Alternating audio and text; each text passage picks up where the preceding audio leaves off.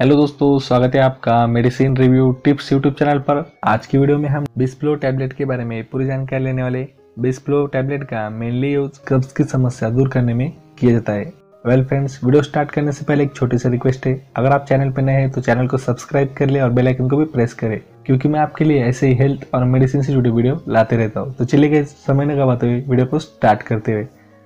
Smart laboratories company की ये 10 tablet की स्ट्रिप आपको मेडिकल स्टोर पर बीस रुपये में मिल जाएँगी।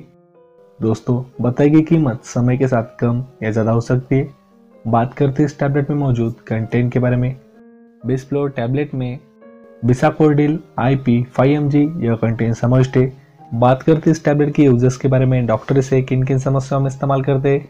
इस टैबलेट का मेनली यूज़ कब्ज की समस्या दूर करने में किया जाता है? आमतौर पर एक हफ़्ते में तीन से कम बार मल त्याग करने की समस्या को कब्ज कहते हैं इस टैबलेट के उस डॉक्टर सर्जरी से पहले पेट की सफ़ाई के लिए मरीज़ को भी देते। हैं इस टैबलेट को प्रेगनेंसी में कब्ज के लिए भी डॉक्टर यूज़ करते। हैं अगर आप इस टैबलेट को प्रेगनेंसी में यूज़ करना चाहते हो तो आप इसे यूज़ करने से पहले अपने डॉक्टर की सलाह अवश्य लें। इसे प्रेगनेंसी में अपने मन से घर पर यूज़ न करें। इस टैबलेट के अन्य यूज़ जानने के लिए आप अपने डॉक्टर या फार्मासिस्ट से संपर्क कर सकते हैं। आपके डॉक्टर उनके अनुभव से इस टैबलेट का इस्तेमाल अन्य समस्याओं को दूर करने के लिए भी यूज़ कर सकते हैं। बात करते इस टैबलेट के डोसेस के बारे में।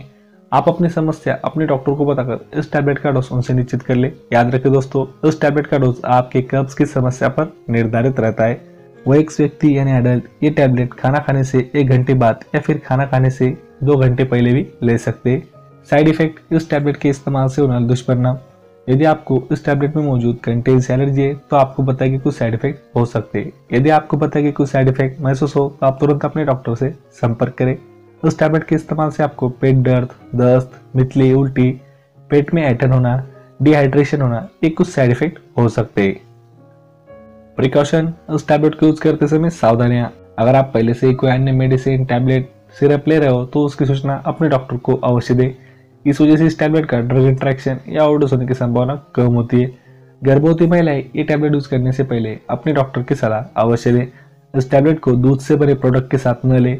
दोस्तों, अगर आपको इस वीडियो से हेल्पफुल इन्फॉर्मेशन मिली हो तो वीडियो को लाइक करें और medicine review tips YouTube channel को सब्सक्राइब करें। इस चैनल पर आपको हमेशा मेडिसिन न्यूज़ मिलते रहेंगे। तो चलिए गाइज़ मिलते हैं आपसे नेक्स्ट वीडियो में। Thank you for watching this video